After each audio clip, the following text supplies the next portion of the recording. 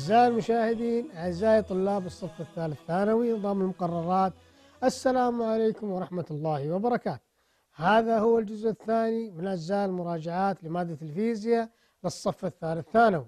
ضمن برنامجكم مئة على مئة وإن شاء الله تحققون بعد متابعة البرنامج مئة من مئة في درجات الاختبار. نذكركم بأننا نستقبل أسئلتكم واستفساراتكم على هاشتاج البرنامج 100 على 100 فاصل قصير وسنبدأ بإذن الله تعالى معكم أولى الأسئلة.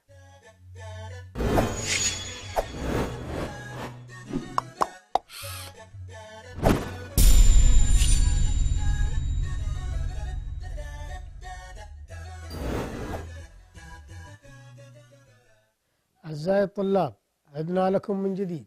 نذكركم بأننا نراجع وإياكم مادة الفيزياء للصف الثالث ثانوي وسنركز على وحدتي الانكسار في العدسات ووحدة التداخل والحيول ونذكركم بأننا سنجيب على أسئلتكم واستفساراتكم في نهاية في نهاية هذا الدرس بإذن الله. تعالوا معنا سويا إلى السؤال الأول. ما الفرق ما الفرق بين طول النظر وقصر النظر؟ آه، الكثير من آه، الأشخاص يرتدون آه، النظارات ولكن لا نعرف هل هو هذا العيب. طول طبعا هو عيب في النظر وهو طول وقصر النظر. نظر ننظر إلى هذا الجدول. مدى الرؤية؟ قصر النظر لا يرى الأجسام البعيدة بوضوح بينما طول النظر يرى لا يرى الأجسام القريبة بوضوح. سبب هذا العيب تكون يكون البعد البوري صغير وتكون الصورة أمام أمام الشبكية زي ما بنلاحظ هنا. هذه هذه الصورة لجسم أو لعين مصابة بقصر النظر. فتتكون الصورة ليست على الشبكية تماما كما هذا كذا كذا مثل هذا الجزء. لا تتكون هنا وإنما تتكون أمام الشبكية. فماذا أو ماذا نعمل لكي نعالج هذا الشيء؟ ونصحح النظر. نستخدم عدسة مقعرة اللي هي العدسة المشتتة بحيث أنها تشتت الأشعة الموجودة وتجعل هذا الجسم يتكون على الشبكية تماما. نأتي إلى طول النظر زي ما ذكرنا سابقا أنه يختلف عن قصر النظر بأنه لا يرى الأجسام القريبة بوضوح وهذه دائما لأشخاص فوق ال 45 أو 50 سنة بحيث أن يستخدم نظارة قراءة.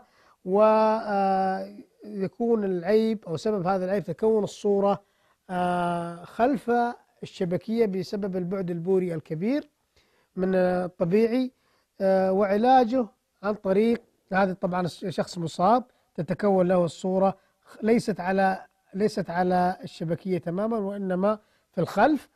آه، لعلاجه نستخدم عدسة محدبة عدسة مجمعة بحيث أنها تجمع الأشعة من الخلف وتجعلها في المكان الطبيعي على الشبكية تماما.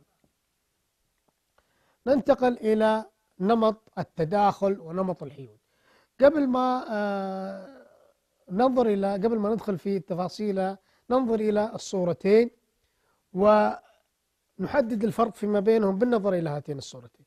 نجد أن نمط التداخل ونمط الحيول يختلفون في اختلافات معينة. قد نجدها بالنظر إلى الصورتين. أولا أن الصورة الأولى نظر أن الهدبة المركزية في المنتصف اتساعها مساوي إلى اتساع الأهداب الأخرى. بينما الهدبة المركزية المضيئة في نمط الحيود أكبر من الأهداب المضيئة الأخرى. لها سمكها كبير. أيضا عندنا الأهداب المعتمة. الأهداب المعتمة في الهدب التداخل. سمكها موحد. سمكها موحد بينما في التداخل مختلفة الأسماك. بس. عند كذلك آه الإضاءة. تقل الإضاءة في شيء مشترك فيما بينهم. أن الإضاءة تقل كلما ابتعدنا عن المركز أو الهدف المضي. تعالوا معنا سويا نقارن بينهم. أولا كيف تتكون؟ نمط الحيود. يتكون من تداخل الموجات الناتجة من شقين. ونمط الحيود يتكون من تداخل موجات هوجنز.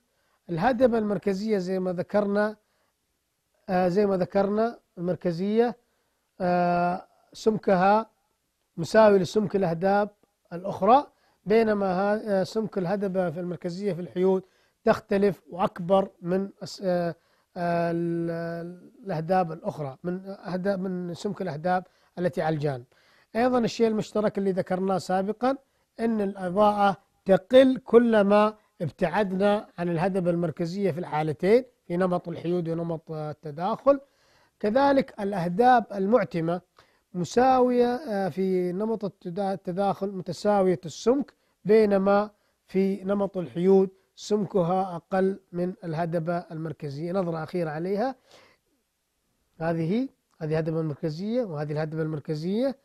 الأسماك مختلفة في الأهداب المركزية. الأهداب العفو المضيئة على الهدبة المركزية نفس السمك بينما هنا السمك مختلف. الهدبة المعتمة في التداخل سمكها متساوي بينما في نمط الحيود سمك مختلف. آه، الشيء المشترك فيما بينهم أن الإضاءة تقل كلما ابتعدنا عن الهدبة المركزية المضيئة المركزية. ننتقل أعزائي الطلاب إلى السؤال الآخر. في تجربة يونغ ينفذ من الشق الجزء المترابط من الضوء. طبعا عندما يدخل الضوء إلى الضوء الأحادي الضوء الأحادي عبر الشق الأول ثم إلى شقين ينفذ من الشق الجزء المترابط فقط وذلك يرجع إلى لأن عرض الشق صغير جدا. يقاس بالملي كير بالملي متر أو عفوا بالمايكرومتر في ننتقل إلى السؤال الآخر. في تجربة يونغ جزء مقدمات الموجة يصلان إلى الحاجز الثاني ذو الشقين متفقين في الطور. كالرسمة التي أمامنا هذا ضوء أحادي انتقل من الشق الأول كما فا- السابقة ثم آه، إلى الشق الآخر. فنلاحظ أن هناك مقدمات الموجة الأسطوانية متفقة متفقة تماما. فهذه المقدمات المقدمة الأسطوانية لها ثابتة تماما. فنلاحظ أنها تكون متفقة أو تماثل مقدمات الموجة الأسطوانية. سؤال آه، حسابي. يبعث ضوء برتقالي مصفر من مصباح غاز الصوديوم بطول موجي 596 نانومتر ويسقط على شقين البعد بينهما 1.9 ضرب 10 ناقص 5 متر ما المسافة بين الهدف المركزي المضيء والهدف الأصفر ذي الرتبة الأولى؟ إذا كانت الشاشة الشاشة تبعد مسافة 0.6 متر من الشقين. آه نوضح بهذا الشكل. طبعا هنا ضوء جانا ضوء. طبعا هنا الشق الأول الشق الثاني الشقين ذي الشقين هنا الشق الأول الشق الأول هذا S واحد هذا S اثنين اللي يحتوي على شقين هذا له طول موجي معين بعدين آه، نعرفه الآن. ثم عندي الشاشة شاشة ال- الشاشة آه، المسافة بين الشقين سميناها دي والمسافة من الشقين إلى الشاشة نسميها ال ال. طول الموجي الطول الموجي كان 596 نانو متر. خمسة تسعة ستة ضرب عشرة ناقص تسعة متر. ويسقط على شقين البعد بينهم اللي قلنا دي بعد بين الشقين كم كانت؟ واحد فاصلة تسعة ضرب عشرة السالب خمسة متر. ما المسافة بين الهدف المركزي المضيء والهدف ذي الرتبة الأولى؟ طبعا عندنا في هذا الشاشة هذه الشاشة بنقول عليها هذه الشاشة هذه كامل الشاشة هذه الشاشة. المسافة بين الشقين والشاشة نقول عليها بإل وهذه المسافة تكون بكم؟ بصفر فاصلة صفر ستة بقت لنا الرسمة هذا هدف المركزي هذا الهدف الرتبة الأولى المضي الأول المضي الثاني المضي الثالث. هذه المركزية m يساوي صفر وهنا m يساوي واحد. ويبغى منا السؤال ما المسافة بين الهدب المركزي المضيء والهدب الأصفر ذي الرتبة الأولى؟ طبعا عندنا أول شيء الرتبة رتبة رقم واحد. يبغى الرتبة رقم واحد. ما هو القانون الذي نمشي عليه أو نحل عليه؟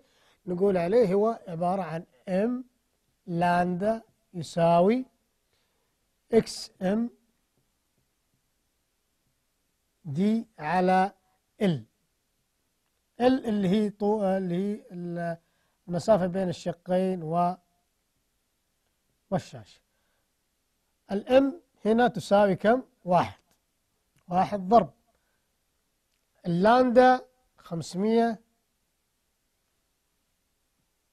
تسعة ستة وتسعين ضرب عشرة أس ناقص تسعة يساوي X M اللي هي المسافة بين الهدبة المسافة بين الهدبة المركزية المضيئة والهدب الأصفر. المسافة الصغيرة هذه X M هي المجهولة. المسافة بين الشقين واحد فاصلة تسعة ضرب عشرة أس ناقص خمسة على ال اللي هي المسافة بين الشقين والشاشة صفر فاصلة صفر ستة. نضرب الوسطين في الطرفين على اعتبار أن هذا لها مقام واحد فتصبح لدينا واحد فاصلة تسعة ضرب عشرة أس ناقص خمسة. ونضرب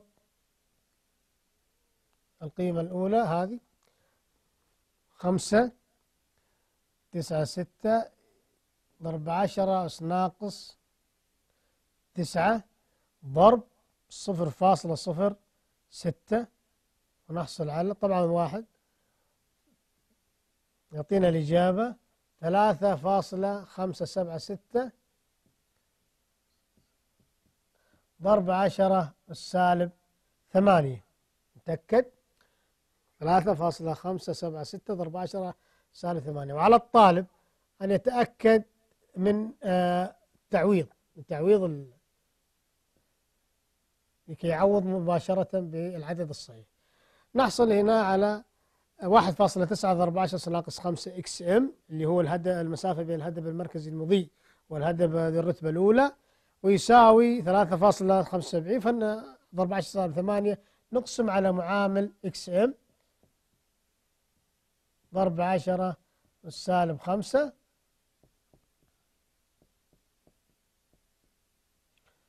هاي تروح مع بعض تبقى إيش؟ إكس إم يساوي.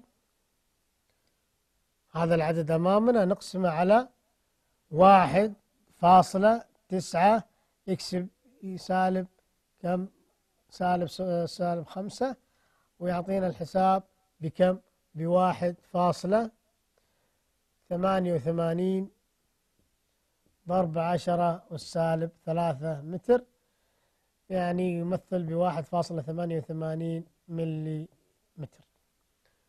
هذا هو السؤال المسافة بين الهدبة المضيئة الأولى الهدبة المركزية والهدبة ذي الرتبة الأولى.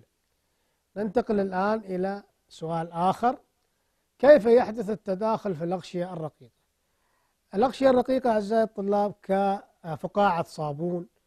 كيف تكون هناك هذه الألوان؟ ألوان آه، قوس المطر موجودة بها وألوان السبعة طيف الطيوف كاملة موجودة بها. لدينا في هذه الرسمة عندما يسقط الضوء طبعا هنا هواء وهنا كثاء المادة مادة الصابون مثلا. عندما يسقط الشعاع جزء من هذا الشعاع وليس الكل جزء من هذا الشعاع ينعكس ينعكس والجزء الآخر ينفذ ومن ثم ينفذ إلى الداخل ومن ثم ينعكس مرة أخرى. وكذلك شعاع آخر يسقط ثم ينعكس جزء منه والجزء الآخر ينعكس من الداخل. نلاحظ واحد على أربعة الآن ثلاثة يعني هل الأشعة فقط يصبح بها يحدث بها في هذا الجزء التداخل في الأغشية الرقيقة لماذا فقط عند لا ربع لاندا وثلاثة لاندا على أربعة. نجعل هذا كسؤال نحل آه، بعد السؤال هذا. بس قبل نبغى نعرف كيف يحدث التداخل كما ذكرنا قبل قليل عند سقوط موجة الضوء على غشاء ينعكس الجزء منه الشعاع الأول والجزء الآخر ينفذ إلى الداخل الخلفي للشعاع فينعكس جزءا منه. طيب هل لربع لاندا أو ثلاثة أربعة لاندا لا هدف معين أو الوجود هدف معين. نعم. في السؤال القادم يقول اكتب شرط حدوث تعزيز اللون في الغشاء الرقيق. هذا الشرط يعني الأشعة الساقطة في السؤال السابق لا يحدث بها أن ينعكس جزء والجزء الآخر كذلك ينعكس إلا إذا تحقق هذا الشرط. أن يكون السمك الغشاء فقط. سمك الغشاء في هذه الحالة قد يكون ربع لاندا ثلاثة أربعة لاندا خمسة لاندا لاندا على أربعة ولو ما ذكرنا قيمة أخرى سبعة لاندا على أربعة بحيث يكون العدد الأول آه، أود آه، عدد فردي على أربعة. يعني هذا هو الشرط أن يكون سمك الغشاء لكي يحدث فيه تداخل في الأغشية الرقيقة.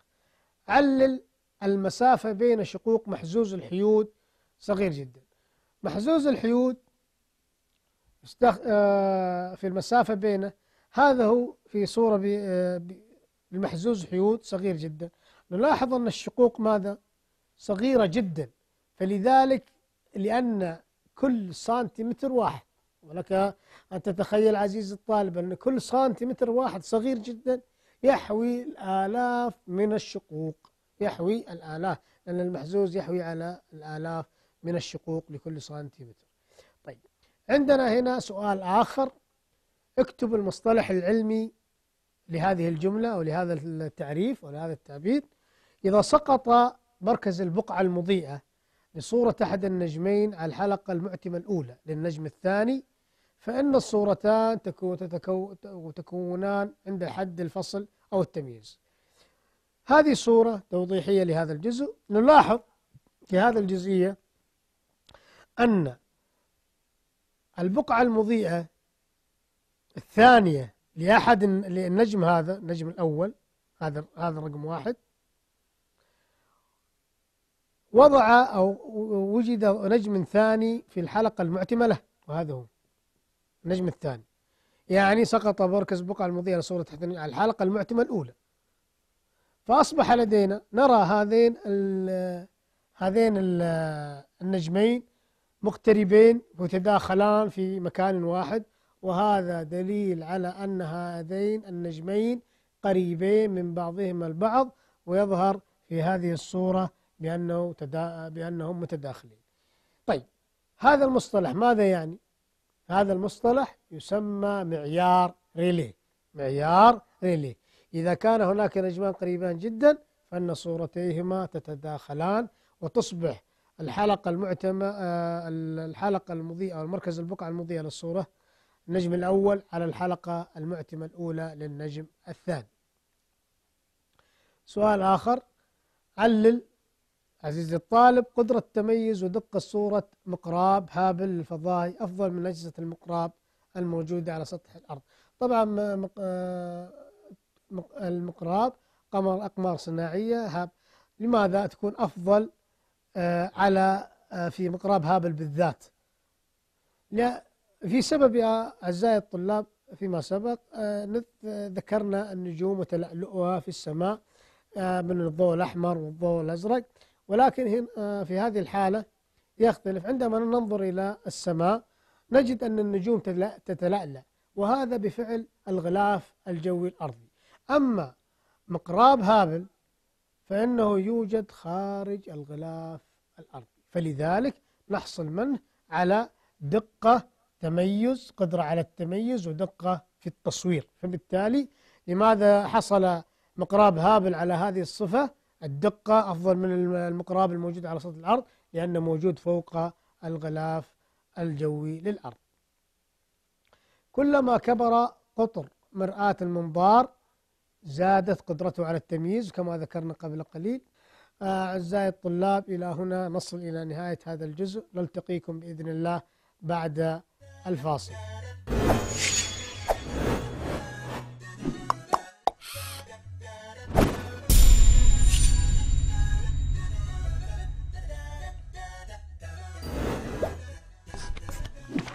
طرق الاستذكار الفعالة.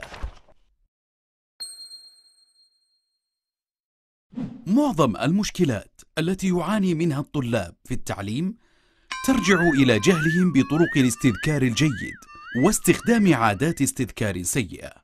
وإليكم بعض القواعد العامة للاستذكار الفعال. قم بتنظيم أوقات الاستذكار واختر المناسب منها لكل مادة. اختر الأماكن الهادئة والمعدة للاستذكار. عند المذاكرة اقرأ الموضوع قراءة عامة. وضع خطا تحت الفقرات المهمة. اختبر نفسك في الموضوع الذي قرأت فيه لتتأكد من مدى فهمك.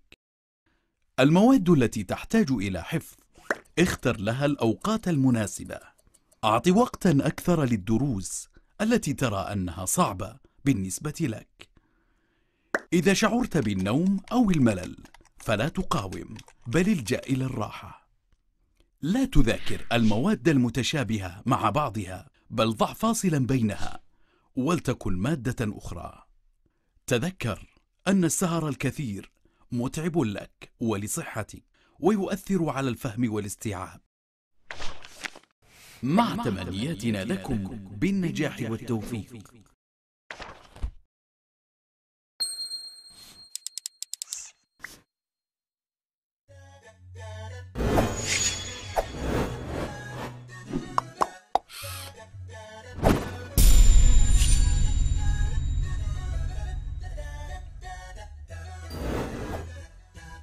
أعزائي الطلاب عدنا لكم من جديد. نذكركم بأننا نراجع وإياكم مادة الفيزياء للصف الثالث ثانوي وسنركز الآن على وحدتي الكهرباء الساكنة ووحدة المجال الكهربائي.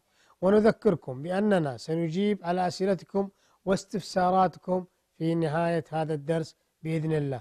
تعالوا سويا إلى هذا السؤال. علل الذرة متعادلة كهربائيا. الذرة متعادلة كهربائيا وهذا معناه آه لنعرف آه قبل آه أن نجاوب على هذا السؤال عزيزي الطالب أن نعرف مكونات الذرة. مكونات الذرة تتكون الذرة من النواة وحولها مدارات إلكترونات. فالنواة تحتوي على مادة النيوترون المتعادل والبروتون الموجب وتدور حولها الإلكترونات. فالذرة المتعادلة الذرة المتعادلة تكون عدد الشحنات الموجبة داخل النواة مساوية لماذا؟ لعدد لعدد ماذا؟ لعدد الإلكترونات التي في المدار التي تدور حول الإلكترونات فهذه نسميها ذرة متعادلة آه ذرة متعادلة بالضبط يعني عدد الإلكترونات عدد الإلكترونات التي تدور نفس عدد البروتونات أو الشحنات الموجبة داخل النواة فالذرة المتعادلة لأن الشحنة الموجبة في النواة مساوية للشحنة السالبة للإلكترونات التي تدور حول النواة آه نذكر المواد من حيث التوصيل الكهربائي.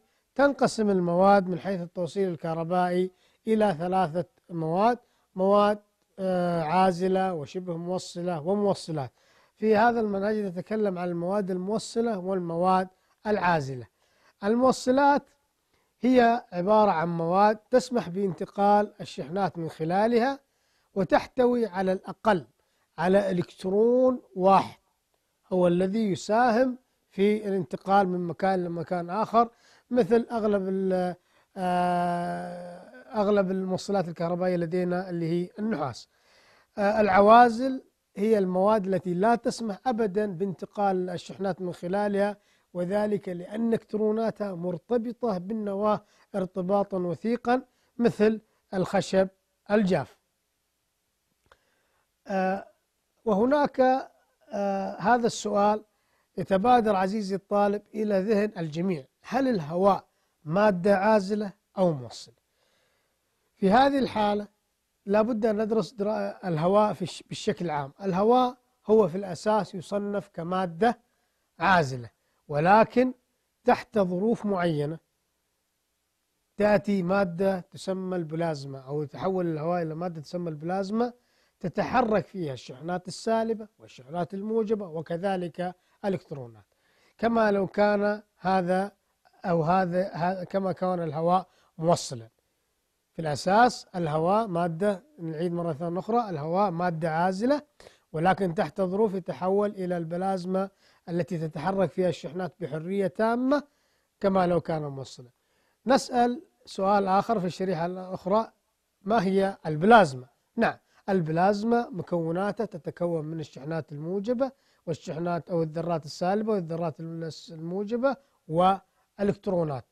مثال ذلك تكوين البرق. في حالة البرق الشحنات الزايدة في الغيمة وعلى الأرض تكفي لفصل الإلكترونات عن الجزيئات الهواء فيتحول الهواء من مادة عازلة إلى مادة البلازما الموصلة اللي عرفنا مكوناتها من ذرات سالبة وذرات موجبة وإلكترونات.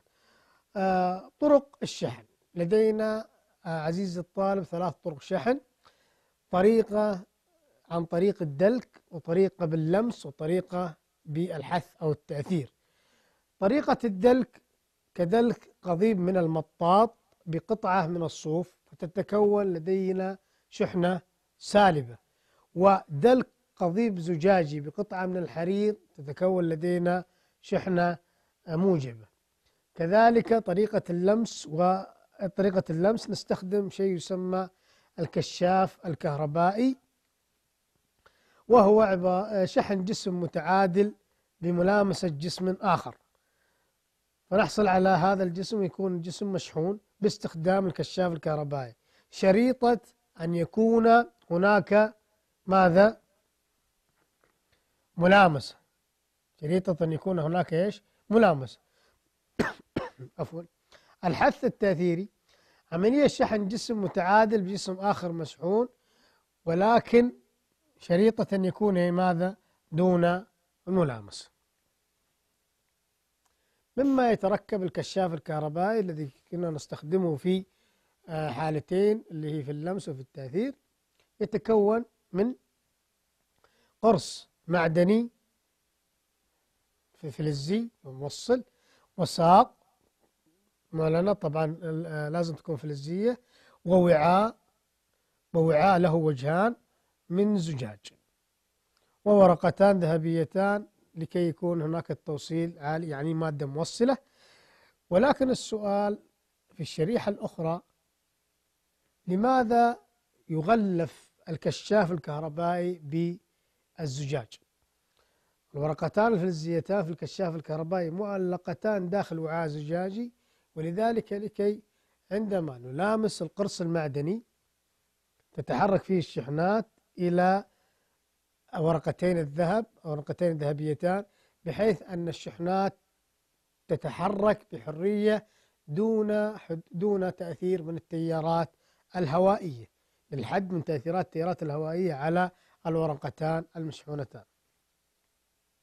ننتقل أعزائي الطلاب إلى قانون كولوم. القوة الكهربائية تتناسب طرديا مع فراغ وعكسيا مع فراغ. قانون القوة الكهربائية F يساوي K Q A مع Q B على R تربيع A B. فإذا كانت عفوا فإذا كانت آه طبعا K نعرفها على أنها ثابت كولوم ال F القوة Q A الشحنة الأولى Q B الشحنة الثانية ال R هي المسافة بين الشحنتين. فالقوة الكهربائية تتناسب مع طرديا مع مقدار كل من الشحنتين Q A Q B وعكسيا مع مع المسافة مربع المسافة عفوا مربع المسافة فيما بينهم.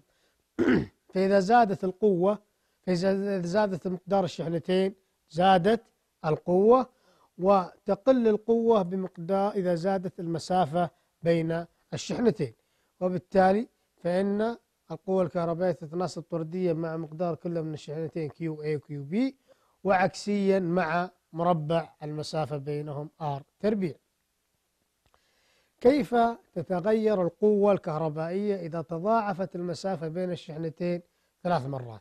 أولا آه، قانون كولوم زي ما ذكرنا سابقا تناسب طرديا مع الشحن مقدار كل من الشحنتين وعكسيا مع المسافة. هنا السؤال ذكر كيف تتغير القوة الكهربائية إذا تضاعفت ماذا؟ المسافة. تضاعفت ماذا؟ المسافة. ولك عزيزي الطالب أن تنظر إلى وعكسية مع مربع المسافة. العلاقة العكسية نتذكرها كلما زادت إذا زادت كمية تقل كمية أخرى. هذه العلاقة ماذا؟ العلاقة عكسية. أحسنتم. أخذ آه، آه، سبق وكانت في كتاب آه، في المقرر فيزياء واحد. نعم. تضاعفت المسافة. المسافة الآن تتناسب تتناسب مع واحد على آر تربيع والآر الآن تضاعفت كم؟ ثلاث مرات. تضاعفت كم؟ ثلاث مرات. طيب كيف تكون؟ كم قيمة الإيه؟ القوة. كم قيمة القوة؟ القوة يعني هذه زادت والعلاقة العكسية معناها أن القوة سوف أولا تنقص. هذه أولا القوة سوف تنقص لأن العلاقة بينهم علاقة إيش؟ عكسية. طيب بمقدار كم؟ بمقدار إف بمقدار واحد على ثلاثة تربيع اللي هي واحد على تسعة. واحد على تسعة. لماذا؟ لأن ثلاثة قيمة ال R وهنا تتناسب القوة مع R تربيع. تأكد أخي الطالب. مع آ كم؟ مع R تربيع. مع R تربيع. فندب ثلاثة تربيع تساوي تسعة. فتتغير القوة الكهربائية إذا تضاعفت المسافة بين الشحنتين ثلاث مرات أي تنقص القوة بمقدار واحد على تسعة. إذا القوة الكهربائية تناسب عكسيا من مربع المسافة بين الشحنتين وإذا تضاعفت المسافة ثلاثة أضعاف فإن القوة سوف تقل بمقدار واحد على تسعة من من قيمتها الأصلية. لدينا الآن سؤال آه، حسابي تفصل مسافة مقدارها 0.3 متر بين شحنتين الأولى سالبة الشحنة والثانية موجبة موجبة ماذا؟ موجبة الشحنة ما مقدار القوة الكهربائية أو القوة المتبادلة أو قوة كولوم بين الشحنتين؟ أولا هناك شحنة سالبة وهنا شحنة موجبة. بينهم الشحنة السالبة مقدارها نسميها Q واحد سالب اثنين ضرب عشرة أس سالب أربعة كولوم. والشحنة الموجبة مقدارها Q اثنين ثمانية ضرب عشرة أس السالب أربعة آه، كولوم. والمسافة بينهم تفصل بينهم مسافة مقدارها R يساوي صفر فاصلة ثلاثة متر. تأكد صفر فاصلة ثلاثة متر نعم. ونريد حساب مقدار القوة. فقانون قانون كولوم F يساوي K Q1 Q2 على R. واحد اثنين تربيع. ال K ثابت كولوم وقيمته تسعة ضرب عشرة أس تسعة. واضح؟ تسعة ضرب عشرة أس تسعة. طيب. الإف هذا قيمة ثابتة تسعة ضرب عشرة أس تسعة. كيو واحد كم؟ أيوة. لا ننسى أن قانون كولوم وهذه ملاحظة هامة. الإشارة السالبة لا تكتب في قانون ماذا؟ في قانون القوة الكهربائية أو في قانون كولوم. تكتب كما هي تكتب بدون إشارة. اثنين ضرب عشرة السالب أربعة. تعوض عنها بتعويضة عادية. ضرب كيو اثنين ثمانية ضرب عشرة السالب كم؟ أربعة. المسافة بينهم صفر فاصلة ثلاثة تربيع. تعويض مباشر. استخدم الآلة الحاسبة.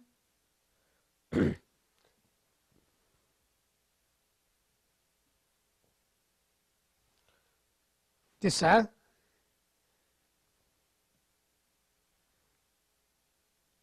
تسعة. ضرب. اثنين. سالب. أربعة. ضرب. ثمانية. وهذه الطريقة الصحيحة لاستخدام الآلة الحاسبة. يساوي نحلها خطوة بخطوة. كما ذكرنا في طريقة مذاكرة مادة الفيزياء خطوة بخطوة خطوة بخطوة. وهنا صفر فاصلة. صفر فاصلة ثلاثة تربيع. هنا صفر فاصلة صفر تسعة. نقسم ثنتين على بعض.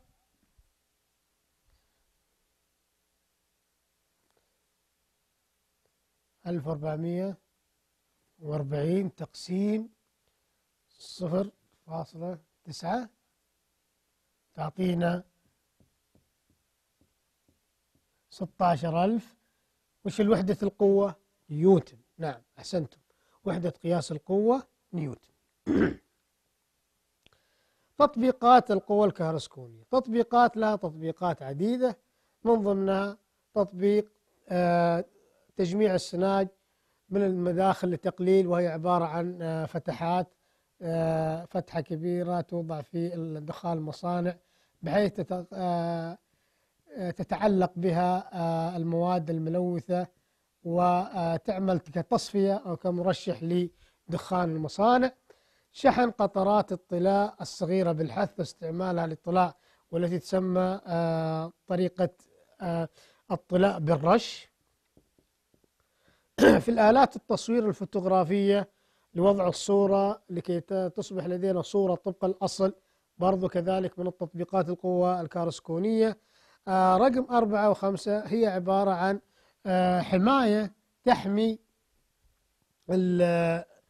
تجنب تراكم الشحنة الساكنة على الفيلم. آه، عبارة عن حماية آه، عن طريق تطبيقات القوة الكارسكونية من التلف وإذا وجدت عليها غبار. كذلك إزالة الشحنة من بعض المعدات الإلكترونية التي قد تتعطل لوجود شحنات كهربائية زائدة عليها. ننتقل إلى تعريف أو إلى قبل آه، ما نعرف شحنة الاختبار عزيزي الطالب آه هذا الجزء يختص بالمجال الكهربائي. فالمجال هو المكان الذي يؤثر فيه أيا كان كهرباء أو أو غيره. فهذه شحنة الاختبار هي عبارة عن أداة أداة تعمل على تحديد اتجاه المجال الكهربائي وهي عبارة اصطلح مجموعة من العلماء على تسمية تسمى تشارتست اللي هي شحنة الاختبار وهي عبارة عن شحنة. عبارة عن شحنة صغيرة موجبة توضع دائما فوق النقطة المراد إيجاد المجال الكهربائي لها هي شحنة ماذا؟ صغيرة ولماذا صغيرة؟ لكي لا تؤثر على ماذا؟ لا تؤثر على الشحنات آه الأخرى لا تؤثر على الشحنات الأخرى أيضا موجبة وموجبة جد آه موجبة طبعا صغيرة جدا توضع فوق النقطة المراد إيجاد مجال كهربائي لها وهذا هو وهذا هو وظيفة هذه وظيفة هذه الشحنة. ما هو وظيفتها فقط؟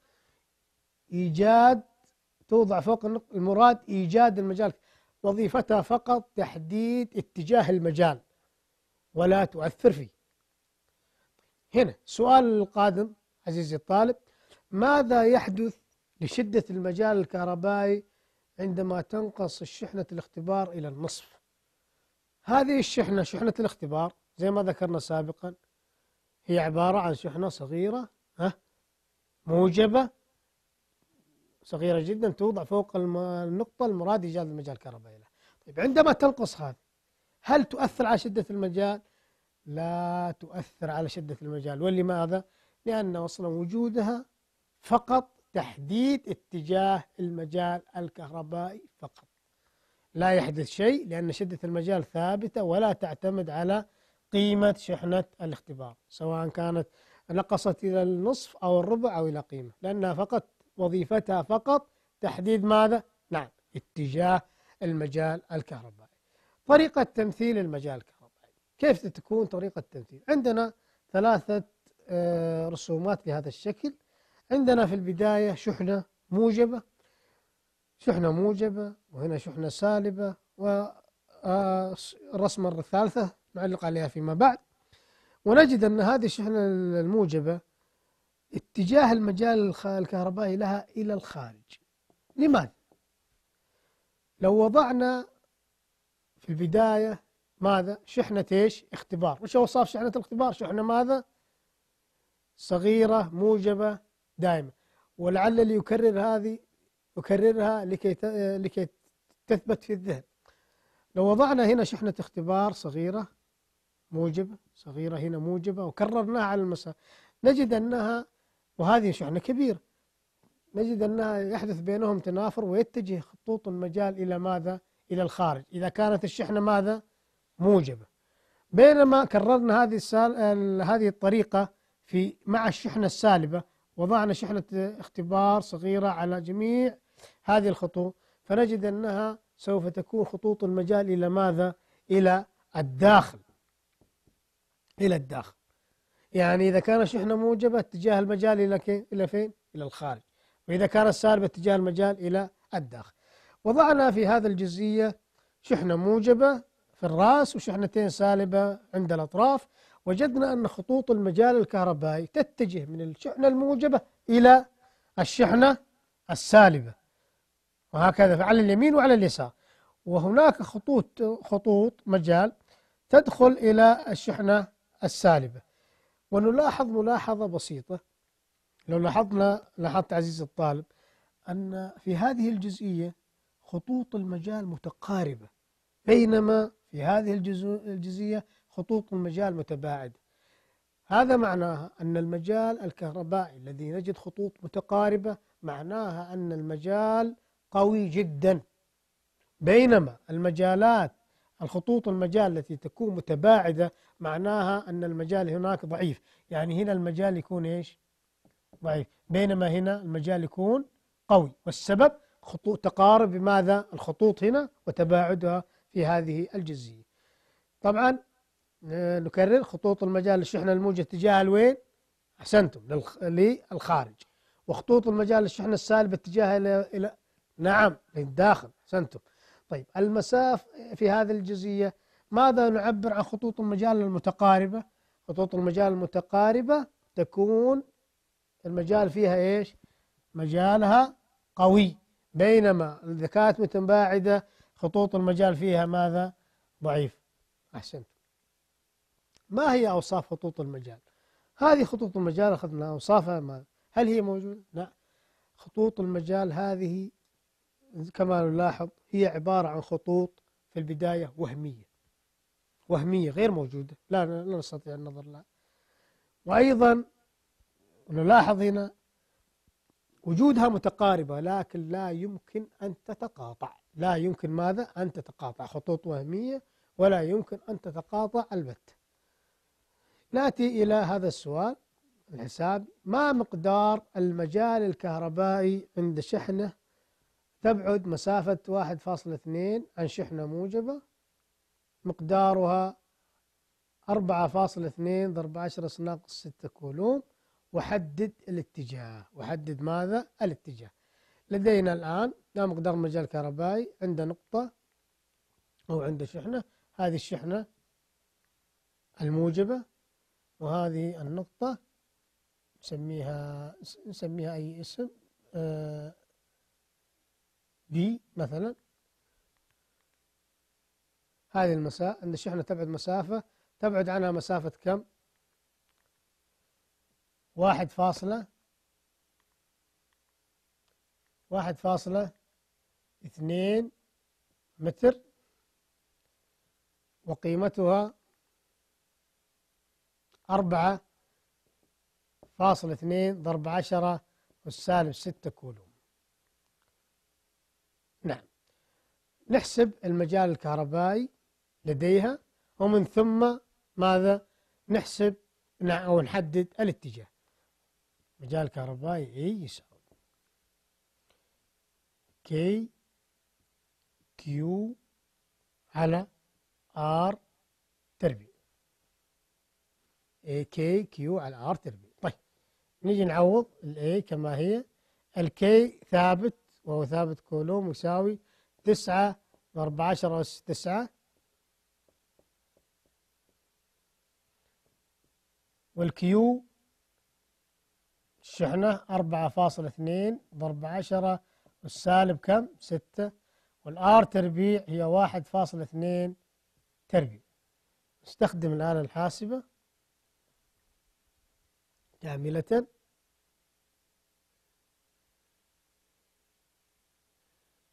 تسعة EXP تسعة ضرب أربعة فاصل اثنين إكس بي سالب ستة. وتلاحظ عزيزي الطالب أن خطوة بخطوة خطوة بخطوة. ثلاثة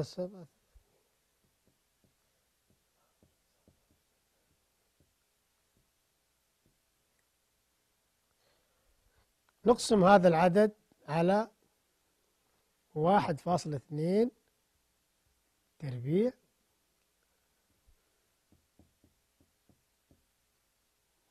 نجد الناتج بأنه يساوي اثنين اثنين ستة اثنين خمسة صفر.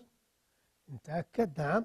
وحدة قياس المجال الكهربائي هي نيوتن على كولوم. نيوتن على كولوم وهو حساب المجال الكهربائي. نعم. فرق ننتقل يا عزيزي الطالب إلى فرق الجهد إلى السؤال الآخر ليتكلم عن فرق الجهد ينقص عنده. إما يزيد هذا الجهد أو ينقص. لنرى الاختيارات. قبل الإجابة إذا كانت إبعاد شحنة موجبة عن شحنة سالبة. نحن نعرف قبل أن هناك إذا كانت شحنة موجبة وشحنة سالبة. ماذا يحدث بينهم؟ أحسنت تجاذب. يحدث بينهم تجاذب. يعني هم في الأساس متجاذبين فيما بينهم. لكن لو أردت أن أبعدهم عن بعضهم نحتاج إلى أحتاج إلى جهد أحتاج إلى جهد كبير. إذا هذه الإجابة ما ينفع. ما ينفع. طيب. ننتقل إلى الإجابة جيم وبعدين نشوف الإجابة واضحة لديكم. شحنة موجبة مع شحنة موجبة. ماذا يحدث بينهم؟ يحدث بينهم في الأساس تنافر. طيب إذا تقريبهم إذا أردت أن أقربهم أحتاج إلى جهد عالي. إذا الإجابة هذه خاطئة. انتقل إلى الإجابة تقريب. شحنة سالبة مع شحنة سالبة. يحدث فيها ما يحدث في الموجبة هي أساسا في بينهم تنافر.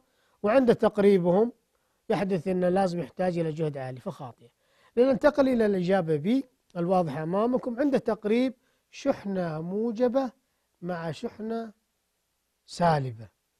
أقربهم هل أحتاج إلى جهد؟ لا لا أحتاج إلى جهد وذلك الجهد يقل وهذه هي الإجابة الصحيحة. حدد أو حدد اتجاه خطوط المجال الكهربائي المنتظم المجال الكهربائي المنتظم في الأساس عبارة عن لوح موجب ولوح سالب وخطوط المجال تتجه من اللوح الموجب كما نلاحظ من اللوح الموجب إلى اللوح السالب من اللوح الموجب إلى اللوح السالب. لو أردنا أن نعرف طبعا هنا خطوط اتجاه خطوط المجال من اللوح المجال الكهربائي المنتظم إلى المجال الكهربائي إلى إلى اللوح السالب. لو أردنا أن نعرف اتجاه الجهد الكهربائي اتجاه الجهد الكهربائي بنوصل هذه بالسالب وهذه بالموجب. المجال الكهربائي المنتظم زي ما أنتم شايفين من أين؟ من اللوح الموجب. إلى اللوح السالب. طيب الجهد. آه الجهد يكون معاكس لاتجاه من؟ لاتجاه المجال بحكم إيش؟ وجود البطارية. نجي الآن اتجاه خطوط المجال الكهربائي فقط من اللوح الموجب إلى اللوح السالب. عندنا الآن مسألة حسابية أعزائي الطلاب. لمجال كهربائي بين لوحين فلزيين واسعين متوازيين ومشحونين 600 نانو 600 آه، آه، نيوتن على كولوم والمسافة بينهم 0.05 احسب فرق الجهد هذا القانون تبع من؟ تبع المجال الكهربائي الموجب زي ما ذكرنا قبل شوي مجال كهربائي عفوا المنتظم يحتوي على لوحين لوح موجب ولوح سالب وهذا هو اتجاه المجال الكهربائي. وذكرت لكم في السابق أن اتجاه المجال اتجاه الجهد يكون معاكس لاتجاه المجال الكهربائي. طبعا عندنا هنا هذا يمثل بالمجال الكهربائي عفوا A. وهذا المسافة بينهم اللي هي دي مسافة بين مسافة بين اللوحين دي ونحسب فرق الجهد. هذا القانون دي فيه يساوي A ضرب دي فنحسب 600 اللي هي المجال الكهربائي المنتظم ضرب آه، دي المسافة بين اللوحين يعطينا 300 فولت وهي وحدة قياس فرق ماذا؟ فرق الجهد ما الغرض من هذه التجربة؟ هذه التجربة للعالم ملكيان كان الهدف منها حساب شحنة إلكترون نعم عن طريق تجربة تسمى بتجربة قطرة الزيت للعالم ملكيان. تجربة قطرة الزيت الهدف منها كان حساب شحنة الإلكترون. ووجدها هذا العالم بأنها تساوي واحد فاصلة واحد فاصلة ستة ضرب عشرة أس ناقص تسعة عشر كولوم. طبعا بإشارة سالبة لأن إلكترون. قياس شحنة الإلكترون سالب واحد فاصلة ستة ضرب عشرة أس ناقص تسعة عشر ننتقل الآن إلى صف ما يحدث عند ملامسة كرتان لهما نفس الحجم أحدهم موجب والأخرى متعادل. عندنا الآن لاحظتنا لاحظ لاحظت عزيز الطالب في البداية هذه رقم واحد. رقم واحد. عندنا لدينا كرة هذه كرة مشحونة. وهذه إيش؟ متعادلة. في البداية كأن الكرة الكرة, المتع... الكرة المشحونة جهدها مرتفع كبير. موجود فيها شحنات. بينما المتعادلة أو شحنتها صفر جهدها منخفض. جهدها منخفض. فعند التلامس عند ملامسة هاتين الكرتين مع بعض طبعا تأكد أن كرتين لهما نفس إيش؟ نفس الحجم. كرتان لهما نفس ماذا؟ لهما نفس الحجم. فعند تقاربهم مع بعض تصبح الجهود وش فيها؟ متساوية. نعم الجهود متساوية ونحصل على اتزان فيما بينهم ونحصل على اتزان فيما بينهم والشحنات تكون متساوية. طيب الكرة الموجبة هذه ذات جهد مرتفع نعم والكرة المتعادلة ذات جهد منخفض وعند التلامس تحصل هناك زي ما ذكرنا الجهود تكون متساوية والشحنات متساوية. طيب أيضا نصف ما يحدث إذا كان عندنا طبعا هذه خاصة بمن؟ إذا كانت لهما نفس إيش؟ نفس الحجم. طيب السؤال الآخر ركز عزيزي الطالب إذا كان هناك تلامس كرتان إيش فيهم؟ طبعا مشحونتان ومختلفتان في ماذا؟ في الحجم. الأولى كانت متساويتين في الحجم. لكن هنا والأولى كانت متساويتين في الحجم وواحدة مشحونة وواحدة غير مشحونة ومتعادل. هنا لا مختلفتين وأحدهما مشحونة والأخرى لا. طيب. لننظر إلى الصورة رقم واحد. هنا رقم اثنين. الصورة هذه عبارة عن لدينا كرتين كرة صغيرة مشحونة وكرة كبيرة كذلك مشحونة. هنا الكرة وهذه كرة بنفسرها لكم بتفسير بسيط. لو لاحظنا غرفة صغيرة غرفة صغيرة فيها آه، عشرة أشخاص. وغرفة كبيرة فيها عشرة أشخاص. الغرفة الصغيرة تكون إيش؟ مكتظة. فهذه مثل آه، مثالها ك كالكرة الصغيرة. يوجد بها نفس الشحنات الكرة الكبيرة. ولكن وجود غرفة صغيرة وملتمين في مع بعض فيحصل فيصبح هنا الجهد فيها جهدها وش ما, ما شو فيه الجهد؟ جهدها مرتفع. بينما الغرفة الكبيرة اللي لها نفس الشحنات ولها نفس جهدها منخفض بحيث أن كل واحد ماخذ مساحة معينة. فلذلك هذا الجهد إيش؟ منخفض. الكرة الصغيرة يعني نفس الشحنات ولكن جهدها مرتفع لأن مساحتها قليلة بينما هذه الحجم عفوا مختلف عن الكرة الكبيرة. وعند التلامس عند التلامس تنتقل ينتقل تنتقل الشحنات. يعني الغرفة الصغيرة هذه عشان تكون فيها أريحية لازم نص الموجودين فيها يروحوا نروح وديهم الغرفة الكبير فتحصل على ماذا؟ نحصل على آه، آه، جهود متساوية فيما بينهم يعني تصبح هذه الكرة الصغيرة الغرفة الكرة الصغيرة أو الغرفة الصغيرة مع ملامستها مع الكرة الكبيرة آه، ذهب نصف الشحنات الموجود فيها إلى الكرة الكبيرة وحصلنا على ماذا؟ حصلنا على الجهود متساوية لكن وش اللي زاد؟ صارت أو أصبحت شحنة الكرة الكبيرة عدد الشحنات فيها أو عدد الموجودين فيها أكبر من عدد الشحنات في الكرة الصغيرة. هنا الكرة الصغيرة جهدها كبير أعلى من الكرة الكبيرة وعند التلامس تنتقل الشحنات أو ينتقل الأشخاص من الكرة الصغيرة إلى الكرة الكبيرة وشحنة الكرة الكبيرة أكبر من شحنة الكرة الصغيرة. علل يتم توصيل سلك تأريض بصهريج النفط. طبعا عند آه، تفريغ صهريج النفط في محطة في محطة بنزين فيتم التأريض توصيل جزء منها بالأرض وهذا آه، هو رمز رمز التعريض رمز التعريض في الدوائر الكهربائية. الأرض لنعلم تعلم عزيزي الطالب أن الأرض هي عبارة عن مخزن كبير مهول جدا من الشحنات المتعادل مخزن كبير من الشحنات الموجبة والسالبة فيفرغ فيها لماذا؟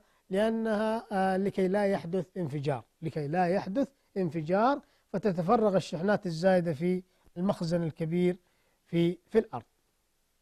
ننتقل إلى كيف تتوزع الشحنات على كل من؟ الموصل الصامت والموصل الأجوف والموصل الغير منتظم. لدينا في هذه الجزئية موصل موصل آه، لنقول إن أو لنقول عنه إيش؟ أنه موصل مصمت.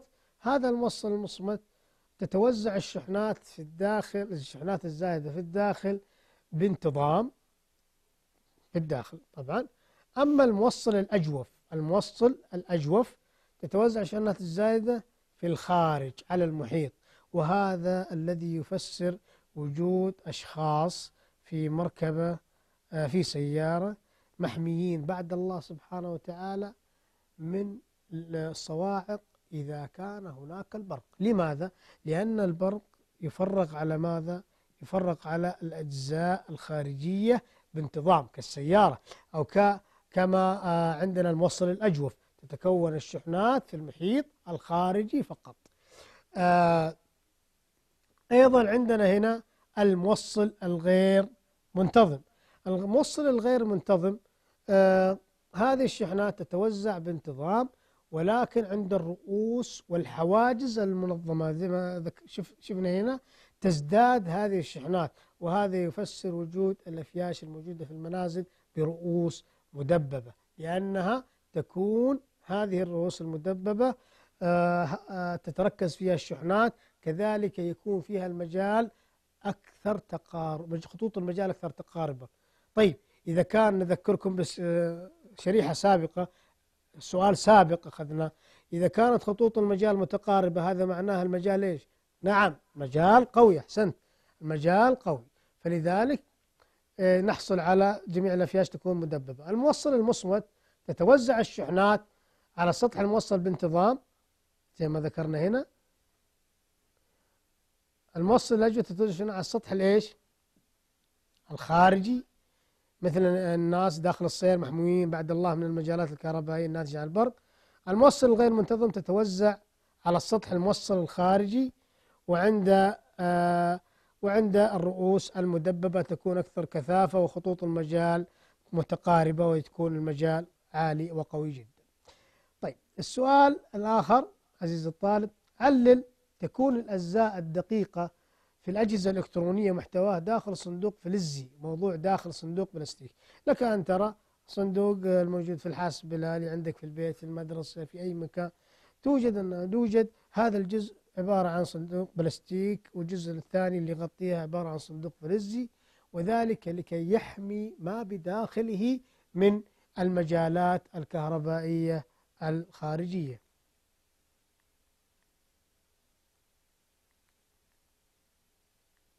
مجالات الكهربائية الخارجية هنا عندنا مكثفات. ما وظيفة المكثف؟ وظيفة المكثف هو عبارة عن تخزين الشحنات تخزين الشحنات الكهربائية ويخزن هذه الشحنات آه على طرفه لأن مكونات المكثف هي عبارة عن لوحين أحدهما موجب والثاني سالب وبينهما مادة وبينهما مادة مادة تسمى مادة مادة عازلة. طبعا لوح موجب ولوح سالب وبينهم مادة عازلة ثم يلف داخل أسطوانة لتصغير الحجم. آه وظيفته فقط تخزين الشحنات ويسمى المكثف على حسب المادة الموجود المادة العازلة. فإذا كان المكثف كهرب آه ورقي نسميه المكثف نسميه المكثف الورقي. وإذا كان آه من السيراميك زي سؤالنا هنا نسميه المكثف السيراميكي. علل يجب عدم نزع غطاء التلفاز أو شاشة الحاسوب حتى لو لم تكن متصلة بمصدر جهد في ذاك الوقت. يعني عندنا غطاء الغطاء الأساسي بالداخل فك التلفزيون من الداخل لكي ترى ما بداخله. يعني آه، لسلامتك لا لا يمكن أو يجب عدم منعك من آه، الفني المسؤول عن آه، تصليح التلفاز وشاشات الحاسوب يعني ينصح بعدم فتح الغطاء حتى لو كان متصل من فترة قصيرة ولذلك لماذا؟ لأن المكثفات زي ما ذكرنا سابقا تعمل على تخزين تخزين ماذا؟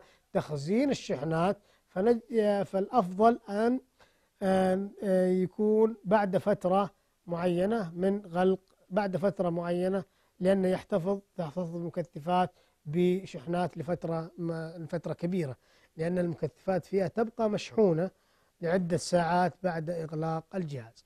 ننتقل إلى السؤال هذا عزيزي الطالب. مكثف سعته 27 آه، ملي أو عفوا مايكرو فاراد آه، بين اللوحي وفرق الجهد بين اللوحي 45 آه، فولت ما مقدار شحنة المكثف؟ قانون أو هذا سعة المكثف هي عبارة عن C المايكرو المايكرو 27 طبعا المايكرو 27 ناقص أس ناقص 6 هذا المايكرو سالب 6 طبعا فاراد هي وحدة قياس المكثف وفرق الجهد 45 فولت ما مقدار شحنة المكثف. شحنة المكثف C يساوي قانون Q على دلتا V هذا القانون. هذا اللي هو السعة سعة المكثف. و Q اللي هي الشحنة ودلتا V فرق ماذا؟ فرق الجهد. طبعا آه عندنا مقدار الشحنة هي المجهولة.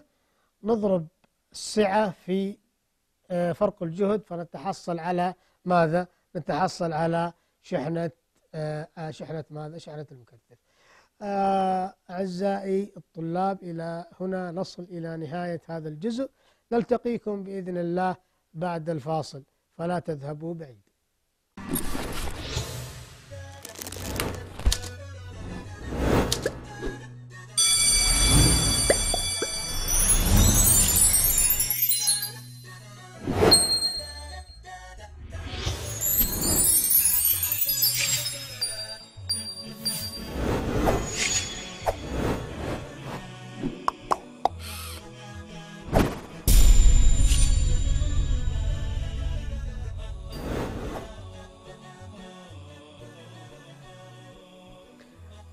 مرحبا بكم أعزائي المشاهدين أبنائي وبناتي الطلاب والطالبات مرة أخرى. في الجزء الأخير من هذه الحلقة والتي راجعنا فيها سويا مادة الفيزياء للصف الثالث ثانوي ضمن برنامج مئة على مئة. نستقبل أسئلتكم واستفساراتكم ونجيب عليها في هذا الجزء من الحلقة عن طريق هاشتاق مئة على مئة. نبدأ بأول سؤال. وردنا سؤال آه، أين تنتهي خطوط المجال الخارجة منه؟ الإجابة في أي شحنة سالبة بعيدة موجودة في أي مكان حيث أن الشحنة أو الشحنة الموجبة تخرج ب آه، تكون شحنة اتجاه خطوط المجال إلى الخارج بينما خطوط الشحنة السالبة تكون إلى الداخل خطوط المجال. آه، السؤال الآخر آه، في المكثفات شرائط ألمنيوم مفصولة آه، بطبقة رقيقة من البلاستيك ملفوفة بصورة أسطوانية. لماذا مكونات المكثف جميعها توجد داخل أسطوانة؟ وذلك لكي ينقص حجمها ولا تشغل حيزا كبيرا في الدوائر الكهربائية والإلكترونية. آه، كما نود أن نشكركم آه، لتجاوبكم معنا آه، من خلال آه، الإجابة على هذه الأسئلة آه، آه، قبل أو قبل أن نعرضها. إلى هنا أعزائي المشاهدين أبناء الطلاب والطالبات نكون قد وصلنا إلى نهاية هذه الحلقة. ونعتذر لمن لم يسعفنا الوقت للإجابة عن سؤاله ونتمنى أن نكون قد وفقنا في الطرح. إلى أن نلتقيكم في الجزء الثالث والأخير بإذن الله تعالى. نستودعكم الله والسلام عليكم ورحمة الله وبركاته.